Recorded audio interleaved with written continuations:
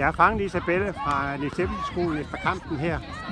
Og uh, Isabelle var jo den store spiller uh, i dag på holdets hjemmehold. Og uh, scorede ni kasser i dag. Isabelle, er du vant til at score mange mål? Altså, jeg vil sige, at uh, jeg ligger normalt bare op til. Jeg er ikke normalt uh, angriber, men uh, det er fedt at gøre. Så. Hvordan er det så lige? Du scorede, så vidt jeg husker, fire sidste gang. Scorer du ni nu. Uh, er det noget med, at du går efter førstepladsen på topscorelisten?